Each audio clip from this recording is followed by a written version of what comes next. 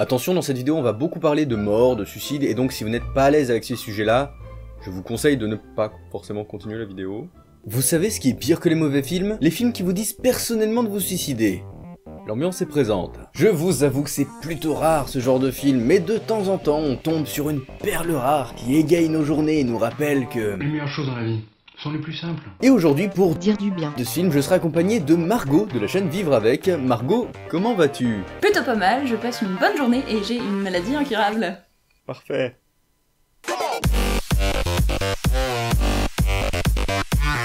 Me Before You est une comédie romantique sortie en 2016 et réalisée par Tisha Rock. Mais de quoi c'est-il qui peut bien parler ce film? La question se pose Te poses-tu la question, Margot? J'ai déjà vu le film en fait, je me pose très peu cette question. Le film débute sur Finnick, William. Qui est un jeune homme riche, heureux et pas du tout handicapé lorsqu'il se fait soudain attaquer par un écran noir. Puis on passe directement à Daenerys, Lou. Sarah Connor, Lou. qui est une jeune femme pauvre, heureuse, pas du tout handicapée lorsqu'elle se fait soudain attaquer par un licenciement. Elle rentre donc chez elle un peu décontenancée et retrouve sa famille, composée de Celia Green, John Bates et de Clara, la compagne du docteur, Je crois que t'as pas bien compris le principe d'acteur en fait. puis retrouve son petit ami Attends, une seconde.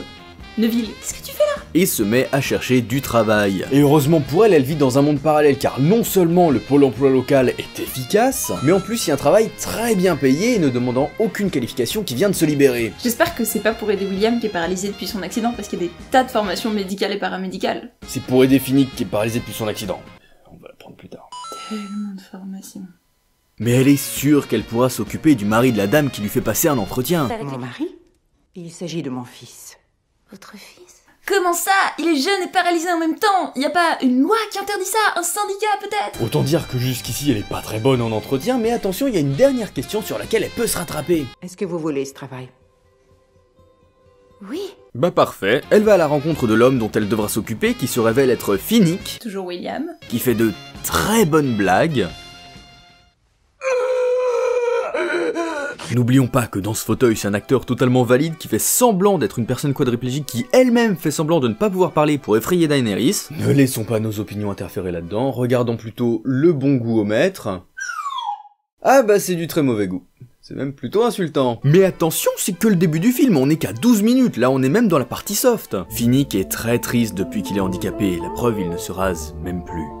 Alors que, petit 1, il a du personnel qui s'occupe de lui, il peut demander de le raser, comme ça on vire ce problème-là déjà. Petit 2. Oui, les personnes handicapées qui sont tristes existent. Mais pourquoi dans ce film dont le handicap est le sujet, le seul personnage handi et triste n'a plus goût à la vie, reste des heures à regarder un buisson dans une pièce vide? C'était vraiment obligé Il a du personnel en plus, il peut pas demander à quelqu'un de l'emmener jusqu'au buisson, comme ça il peut en profiter au maximum. Non, le message que j'essaie de faire passer, c'est sur la représentation des handicapés. Les personnes handicapées heureuses, ça existe aussi, et le buisson, il était pas si important que ça. Mais heureusement pour lui, Sarah Connor est là et va pouvoir l'illuminer de joie, d'allégresse et de tenue aléatoire. Ça faisait longtemps qu'il avait pari de quoi que ce soit. Ah, il a de la chance qu'elle soit là quand même. Par chance, tu veux dire Argent. Le film va vite l'oublier, mais c'est son travail. Quand même. Ça fonctionne tellement bien que Finnick va troquer sa barbe de 10 jours contre une peau fraîchement rasée, si ça c'est pas la preuve ultime qu'il va mieux. On dit que c'est la fin du film, mais elles sont heureuses et vivent très longtemps. Alors, attention, plot twist, même si les deux sont trop choupis et qu'on sentirait presque poindre une histoire d'amour, Et elles vont se pécho et que Finnick semble aller de mieux en mieux, regardez-moi cette peau de bébé quoi. On apprend que 6 mois plus tôt, il a décidé de se suicider. Euh, y a un problème de concordance des temps dans cette phrase. 6 mois plus tôt, Jean-Mi est malheureux. Il décide de planifier son suicide 6 mois plus tard. C'est-à-dire maintenant? En ce moment, Jean-Mi a vraiment l'air heureux, mais il peut pas briser sa promesse, visiblement. Genre il a signé un contrat et si à la fin des 6 mois il se suicide pas, il est pas remboursé? On lit jamais les petits caractères. hein.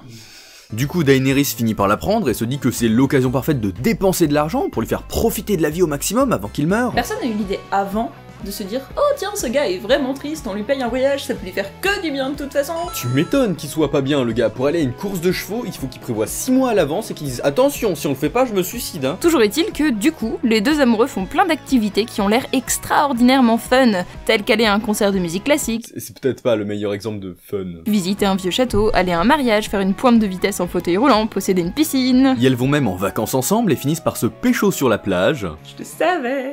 Sarah se dit qu'elle pourrait se mettre ensemble, comme un couple, tout ça, mais William n'est pas exactement sur la même longueur d'onde. Il n'est pas question que tu passes à côté de ce que tu pourrais vivre avec un autre. Trop mignon, il veut pas qu'elle souffre. Et ensuite, il lui propose d'assister à son suicide. Reprenons depuis le début. Non seulement il veut pas vivre avec elle parce qu'il a peur qu'elle profite pas et que ça la fasse souffrir, alors que depuis une demi-heure on nous montre qu'elles font plein de trucs trop cool. Oui, Jean-Mi, t'es paralysé, mais ça a l'air d'être très le fun entre vous deux. Et puis quoi, euh, il a peur qu'elle puisse pas aller courir avec lui, et bah elle ira courir toute seule. Elle peut côtoyer plusieurs personnes dans sa vie, il est pas obligé d'être avec elle 100% du temps. Et puis sérieusement, tu lui balances presque mot pour mot, si tu m'aimes, viens à mon suicide c'est quoi ce chantage de merde? Et puis un suicide, c'est pas un anniversaire, t'invites pas des gens à ton suicide en leur demandant de ramener des curly ça se fait pas En plus, à la fin du film, elle va vraiment venir assister à sa mort et c'est montré comme trop romantique, genre « Oh là là, c'est trop mignon, il s'est suicidé pour moi !» Non, c'est pas mignon. La seule personne dans le film qui trouve que c'est pas cool tout ça, c'est la mère de Daenerys qui a une croix autour du cou et répète non, c'est un meurtre, c'est un meurtre. Et forcément, dans ce contexte, ça fait un peu penser à la manif pour tous, les anti-avortements, toutes ces conneries. On n'a pas envie d'être d'accord avec elle, donc par défaut, on a plus envie d'être d'accord avec les autres. Et les autres, elles trouvent que se suicider c'est vachement romantique et oh là là, trop choupi, j'aimerais trop que mon mec fasse la même. S'il met fin à ses jours, c'est pas parce que sa vie à lui est super triste ou qu'il souffre, c'est, et ça il le dit lui-même, pour pas faire souffrir sa potentielle meuf. Genre sa vie à lui, c'est pas important et ce qui est important, c'est la façon dont le vivent les autres. Il se suicide, tout le monde est content, même Daenerys qui s'en remet étonnamment facilement et a l'air beaucoup trop satisfaite. Et fin du film. Verdict. Le plus difficile à accepter dans ce film, c'est que c'est pas un mauvais film au sens où on l'entend habituellement. C'est beau déjà, visuellement, les cadres sont très soignés, pas incroyablement signifiants avec des trouvailles que l'on savoure avec délectation, ça reste classique, mais ça fait bien le job et c'est joli. Les acteurs et actrices remplissent très bien les cadres, Emilia Clarke a toujours son jeu de sourcils sorti d'un autre monde, les actrices sont convaincants et convaincantes de manière générale et aident à retranscrire la bonne émotion quand il faut. L'écriture aussi est bonne, on s'attache aux personnages, on s'implique, la progression a du sens, il y a des personnages antipathiques qui nous pousse à aimer encore plus les gentils et à les approuver dans tout ce qu'elles font. C'est un bon film. C'est un bon film, sauf que son message est un peu dégueu quand même. Et autant sur une grosse bouse technique mal écrite et mal filmée, on se rend facilement compte de ce qu'il faut prendre ou pas et on se dit que quand même c'est abusé, autant là, bah c'est bien fait, on a envie d'être d'accord avec. Mais Surprise Et pas le genre de surprise qui font plaisir, plutôt Oh Tu as rajouté du caca dans cette tarte? Ça, c'est une surprise. Le film fait passer des messages assez problématiques. En essayant très clairement de donner une bonne image du suicide assisté. Ce qui n'est pas le problème nous concernant, hein. le suicide assisté est un droit auquel tout le monde devrait avoir accès. Le film se prend les pieds dans le tapis, s'explose la figure, se casse littéralement la gueule et envoie une violence énorme envers les personnes handicapées. Parce qu'il y a une nuance entre un personnage qui se suicide parce que c'est mieux pour lui et parce qu'il supporte plus sa vie, et un personnage qui se suicide parce que c'est mieux pour les autres. On vit dans une société où les personnes handicapées, mais aussi malades chroniques et en général avec des soucis de santé sont dans d'énormes galères. En France, ça représente 12 millions de personnes, soit 20% de la population. C'est une personne sur 5. Pas moyen d'accéder à certains bâtiments, comme la maison ici à cause des escaliers. Les transports en commun sont souvent une vraie merde et parfois même les rues sont tellement mal fichues qu'on ne peut pas mettre une roue dehors. C'est souvent impossible d'avoir un travail parce que les employeurs sont mal informés et préfèrent payer des amendes plutôt que d'employer des personnes handicapées malgré les quotas, ou encore parce qu'on n'a pas tous et toutes le même rapport à la fatigue que les personnes valides. Quand juste une douche te prend toute ton énergie de la journée, c'est clairement pas réaliste de bosser 35 heures par semaine. En plus de toutes ces galères dans notre quotidien parce que l'environnement n'est pas adapté, on se mange une bonne dose de culpabilisation comme quoi c'est notre faute, on pourrait faire des efforts, on vaut moins que les autres parce qu'on est handicapé.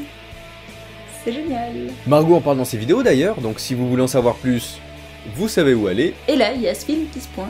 À aucun moment il est évoqué l'idée que peut-être que la société n'est pas adaptée et que le problème ne vient pas de Finnick. Par exemple, la maison là où il y a trois marches de merde, on nous montre pas que c'est pas accessible pour lui c'est ellipsé. Toutes ces difficultés se passent en hors champ et ne sont même pas évoquées. Tout ce qu'on sait, c'est qu'il va mal et qu'il est handicapé. Alors que toutes les personnes qui ne sont pas handicapées vont bien, donc le handicap doit être la cause de sa souffrance. Et on nous montre bien que tous ses proches souffrent à cause de lui et qu'à la fin tout le monde est content parce qu'il est mort. En somme. Eh, ce serait vachement mieux si t'étais mort. Tes proches seraient mieux sans toi, tu te rends compte Et c'est con, mais quand c'est ton quotidien ce genre de remarques et que tu finis par y croire, ça peut être une très mauvaise idée de regarder ce film. On va passer une heure et demie à te le montrer. Ça peut sembler très lointain et exagéré comme problème, mais si le taux de suicide est trois fois plus élevé chez les personnes handicapées que dans le reste de la population, c'est qu'il y a peut-être une raison.